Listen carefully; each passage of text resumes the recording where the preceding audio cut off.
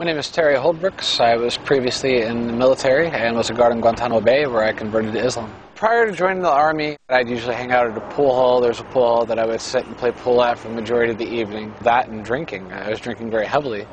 Uh, I, I, joined the military due to the fact that I, I, just I wasn't really going anywhere with my life. I wasn't content, and I, I wanted to be more productive than my parents had been. Kind of bring some some pride to, to the Holdbrooks legacy. Narula.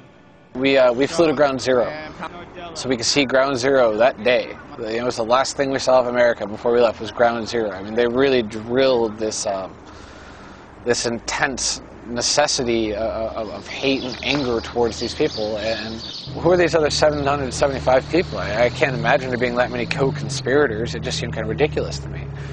Um, and obviously, as time has shown, we've sent 550 of them home now, so they weren't guilty to begin with. They were always smiling. There, there must be something in your faith or in your life that, that's lacking in mine because I'm here and I'm not smiling every day, but you are. That, that's, that's amazing. You know, what do you have that I don't?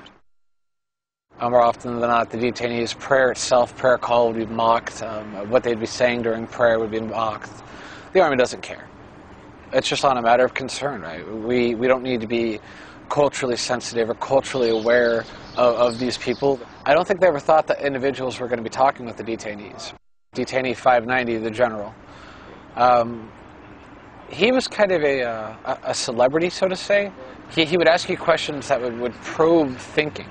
It wasn't necessarily he was trying to argue with you. He would ask you questions that would make you think. He introduced me very much to Islam. He, he had a lot to do with my, uh, my acceptance of Islam. I said my shahada with, with him, and, and he, he congratulated me. I think it's very much possible to fully adopt to Islam and, and, to live an Islamic life and to be a good Muslim, and at the same point in time be an American. I, one of the things I've noticed since my conversion, with every door that I close, Allah opens a, better door. You know, I found Islam in Guantanamo, and it's not something that I could ever, ever find anywhere else.